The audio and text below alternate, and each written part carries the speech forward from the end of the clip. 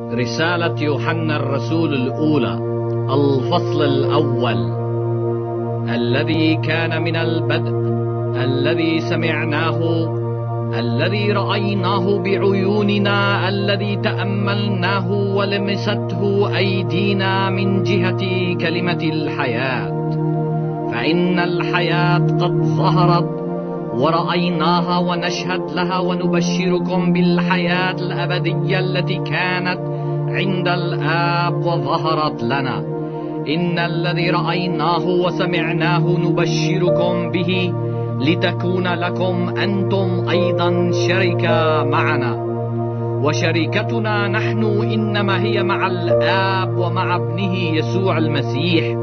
ونكتب إليكم بهذا ليكون فرحنا كاملا.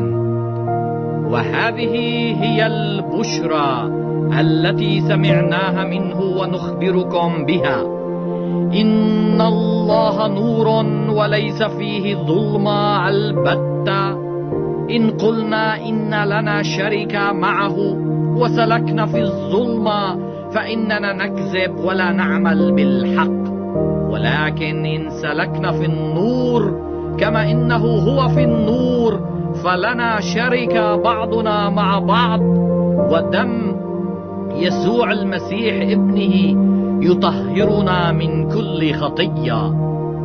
إن قلنا إنه لا خطية لنا نضل أنفسنا وليس الحق فينا.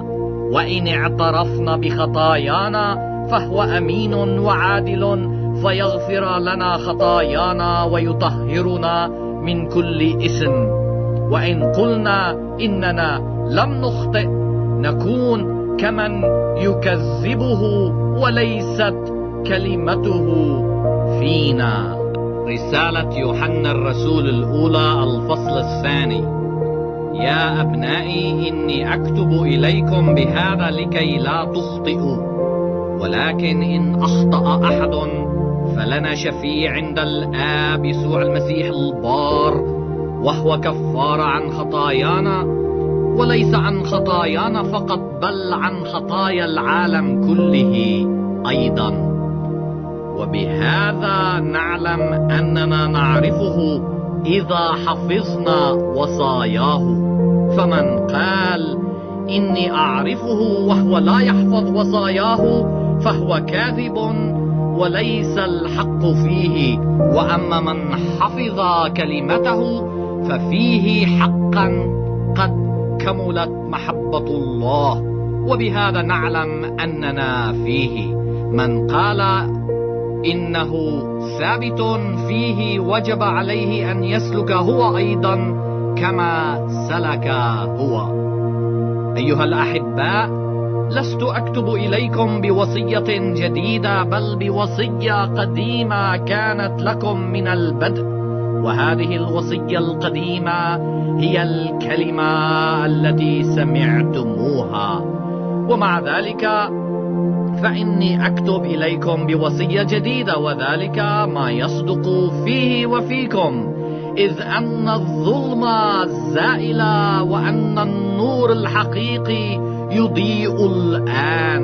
من قال إنه في النور وهو يبغض أخاه فهو بعد في الظلمة. من أحب أخاه فهو ثابت في النور وفي هذا لا داعي للعثار. وأما من أبغض أخاه فهو في الظلمة وفي الظلمة يسلك ولا يدري أين يذهب لأن الظلمة قد أعمت عينيه. أكتب إليكم أيها الأبناء لأن خطاياكم قد غفرت لكم من أجل اسمه. أكتب إليكم أيها الآباء لأنكم تعرفون الذي من البدء. أكتب إليكم أيها الفتيان لأنكم قد غلبتم الشرير. كتبت إليكم أيها الأبناء لأنكم تعرفون الآب. كتبت إليكم أيها الآباء لأنكم تعرفون الذي من البدء. كتبت إليكم أيها الفتيان لأنكم أقوياء ولأن كلمة الله ثابتة فيكم وقد غلبتم الشرير. لا تحب العالم ولا الأشياء التي في العالم. إن أحب أحد العالم فليست فيه محبة الآب. لأن كل ما في العالم شهوة الجسد وشهوة العيون والفخر بمتاع الحياة ليس من الآب بل من العالم والعالم يزول وشهوته أيضا. وأما من يصنع مشيئة الله فإنه يثبت إلى الأبد. أيها الأبناء إنها الساعة الأخيرة. وكما سمعتم بأن المسيح الضد سيأتي فقد قام الآن مسحاء الضاد كثيرون. من هذا نعلم أنها الساعة الأخيرة. إنهم منا خرجوا ولكن لم يكونوا منا لأنهم لو كانوا منا لبقوا معنا. وإنما خرجوا ليتبين أنهم ليسوا جميعا منا. أما أنتم فإن لكم مسحة من القدوس وعند جميعكم علم. لم أكتب إليكم لأنكم لا تعرفون الحق بل لأنكم تعرفونه وتعرفون بأن كل كذب ليس من الحق. من هو إذا الكذاب إلا الذي ينكر أن يسوع هو المسيح؟ ذلك هو المسيح الضد الذي ينكر الآب والابن. كل من ينكر الابن فليس له الآب ومن يعترف بالابن فله الآب أيضا. أما أنتم فليثبت فيكم ما سمعتموه من البدء فإن ثبت فيكم ما سمعتموه من البدء تثبتون أنتم أيضا في الإبن وفي الآب. وهذا هو الوعد الذي وعدنا به هو نفسه الحياة الأبدية. قد كتبت إليكم هذا بشأن الذين يضلونكم. وأما أنتم فإن المسحة التي نلتموها منه تثبت فيكم ولا حاجة لكم أن يعلمكم أحد. بل كما أن مسحته تعلمكم كل شيء وهي حق وليست كذبا. هكذا اثبتوا فيه كما علمتكم. والآن أيها الأبناء اثبتوا فيه حتى إذا ما ظهر تكون لنا الثقة ولا نخجل منه عند مجيئه. إن علمتم أنه بار فاعلموا أيضا أن كل من يصنع البر مولود منه. رسالة يوحنا الرسول الأولى الفصل الثالث. انظروا أية محبة منحنا الآب حتى ندعى أبناء الله. ونحن كذلك من أجل هذا لا يعرفنا العالم لأنه لم يعرفه. أيها الأحباء نحن الآن أبناء الله ولم يظهر بعد ماذا سنكون؟ ولكننا نعلم أنه إذا ما ظهر سنكون مثله لأننا سنعاينه كما هو. وكل من له هذا الرجاء فيه يطهر نفسه كما أنه هو طاهر. كل من يفعل الخطية يتعدى الشريعة فالخطية هي تعدي الشريعة. وتعلمون أن ذاك ظهر لكي يرفع الخطايا وأنه لا خطية فيه. كل من يثبت فيه لا يخطئ وكل من يخطئ لم يره ولم يعرفه. أيها الأبناء لا يضلكم أحد من يعمل البر فهو بار كما أن ذاك بار ومن يعمل الخطية فهو من إبليس لأن إبليس يخطئ منذ البدء. من أجل هذا ظهر ابن الله لكي ينقض أعمال إبليس. كل من هو مولود من الله لا يفعل الخطية لأن زرع الله ثابت فيه. ولا يستطيع أن يخطئ لأنه مولود من الله. بهذا يظهر أبناء الله وأبناء إبليس من لا يعمل البر ليس من الله وكذلك أيضا من لا يحب أخاه. لأن هذه هي البشرى التي سمعتموها من البدء أن يحب بعضنا بعض ولا نكون مثل قايين الذي كان من الشرير فذبح أخاه. ولماذا ذبحه؟ لأن أعماله كانت شريرة وأما أعمال أخيه فكانت ضارة. لا تتعجبوا أيها الإخوة إن كان العالم يبغضكم. فنحن نعلم أننا قد انتقلنا من الموت إلى الحياة لأننا نحب الإخوة. من لا يحب يبقى في الموت. كل من يبغض أخاه فهو قاتل. وتعلمون أن كل قاتل ليست له حياة أبدية ثابتة فيه.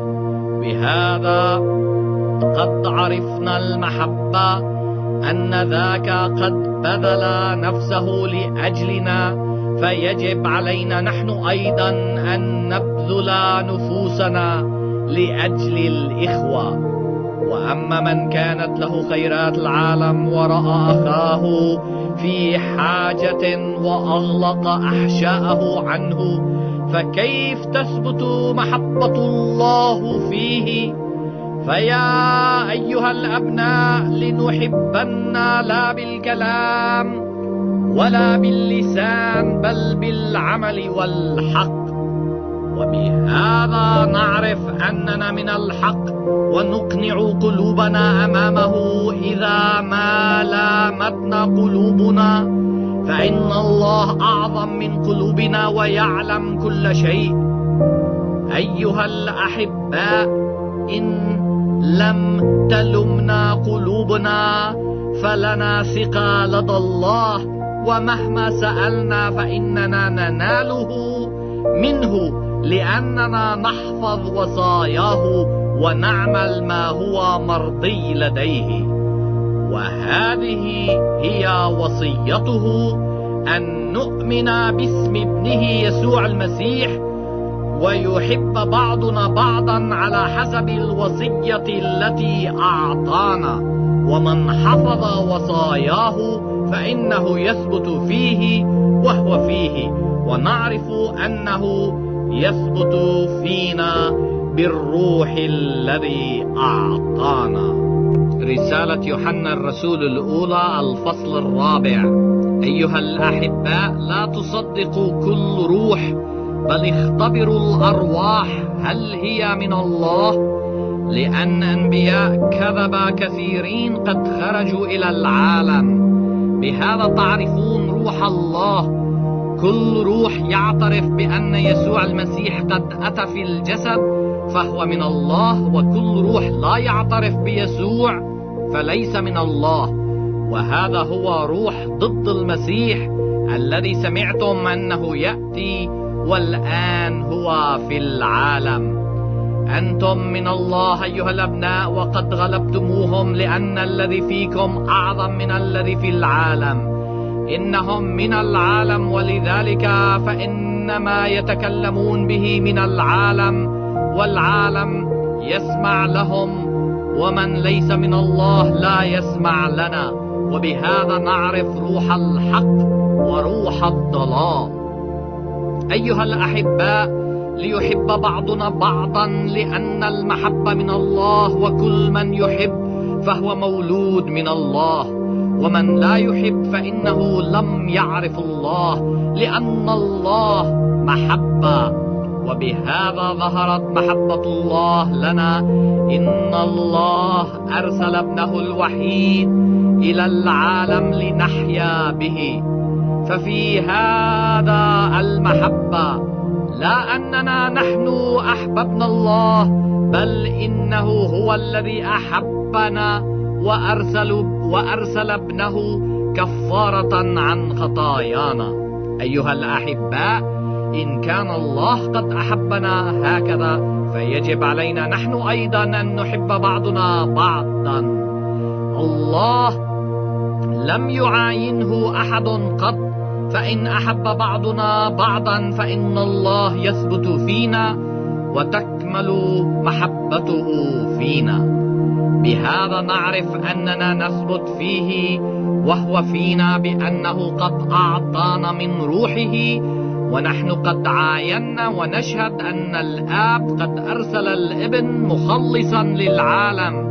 فمن اعترف بأن يسوع هو ابن الله فإن الله يثبت فيه وهو في الله. ونحن قد عرفنا المحبة التي لله فينا وقد آمنا بها. إن الله محبة فمن يثبت في المحبة يثبت في الله والله فيه. بهذا تكمل المحبة فينا. بأن تكون لنا ثقة في يوم الدين. لأنه كما هو هكذا نحن أيضا في هذا العالم. إنه لا خوف في المحبة بل المحبة الكاملة تطرد الخوف لأن الخوف له عقاب. ومن خاف لا يصير كاملا في المحبة. ونحن نحب لأنه هو أحبنا أولا. إن قال أحد إني أحب الله وهو يبغض أخاه فهو كاذب. لأن من لا يحب أخاه الذي يراه لا يستطيع أن يحب الله الذي لا يراه.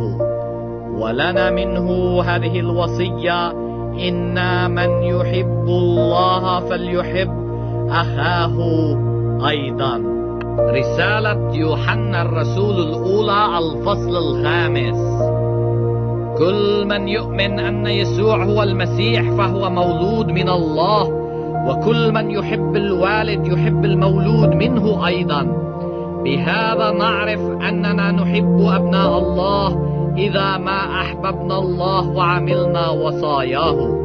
فإن هذه هي محبة الله أن نحفظ وصاياه ووصاياه ليست ثقيلة. لأن كل من ولد من الله يغلب العالم والغلبة التي تغلب العالم هي إيماننا. من ذا الذي يغلب العالم إلا الذي يؤمن أن يسوع هو ابن الله؟